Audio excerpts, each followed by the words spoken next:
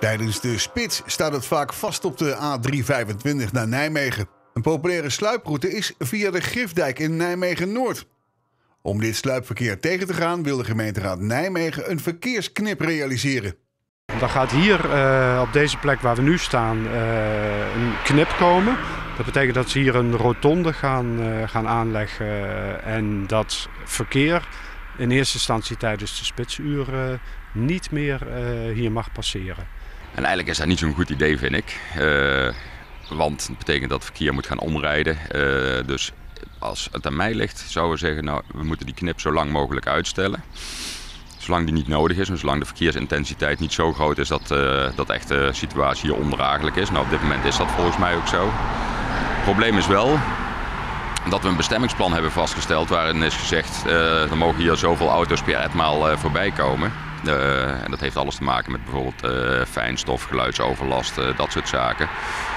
En ja, daar moeten we ons ook aan houden. Dus het kan zo zijn dat op een bepaald moment als het zo druk wordt dat er ja, dat, dat wij eigenlijk verplicht zijn om hier gewoon verkeersmaatregelen te nemen om te zorgen dat er gewoon minder verkeer over de Griffdijk rijdt. De eerste keer krijg je daar een waarschuwing van. Er worden camera's geplaatst. En als je het een tweede keer doet, dan, ja, dan volgt een bekeuring. Wij gaan waarschijnlijk ook wel ja stemmen, gewoon omdat we verplicht zijn. Want op het moment dat we die knip namelijk, uh, dat we daar niet voor stemmen, dat betekent dat het bestemmingsplan op losse schroeven komt te staan. Dat betekent dat er hier niet gebouwd mag worden. Ja, en dan hebben we een probleem.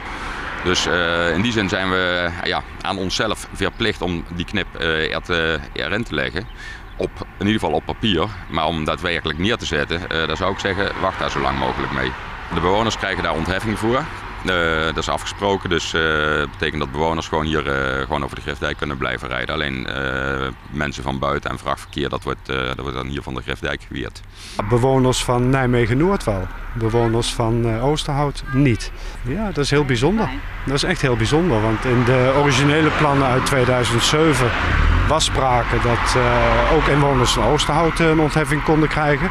En dat idee is nu losgelaten.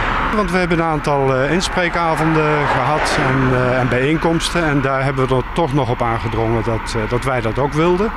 Maar er is voor gekozen om het, om het niet te doen. Ik vermoed dat het argument is dat, dat het anders toch te veel auto's gaan passeren. Maar ja, die, die paar inwoners van Oosthout die een ontheffing zullen willen, dat gaat het verschil echt niet maken. Het is nu nog niet te veel. Nee, nee, het wordt pas te veel op het moment dat hier alles volgebouwd is. Uh, het is uh, tenminste, dat zijn de verwachtingen. Nou ja, en dan, uh, dan komt ook een moment waarop je misschien zou moeten zeggen, ja, dan moeten we toch echt maatregelen nemen. En dan is zo'n knip is een mogelijke oplossing. Dat betekent dat wij om moeten gaan rijden om, om richting de nieuwe stadsbrug te kunnen komen. Alleen het is bijzonder dat dat als argument wordt, wordt genoemd dat wij uh, minder omrijdenkilometers zouden hebben dan, uh, dan de inwoners van Nijmegen-Noord. Want dat is exact hetzelfde. Ik had al begrepen dat er mensen in uh, Oud-Oosterhout, wat hier achter de nieuwbouwwijk Oosterhout in Nijmegen ligt, dat die dat wel heel erg bezwaarlijk vinden. Nou, ik vind dat we daar nog wel even naar moeten kijken. Thank you.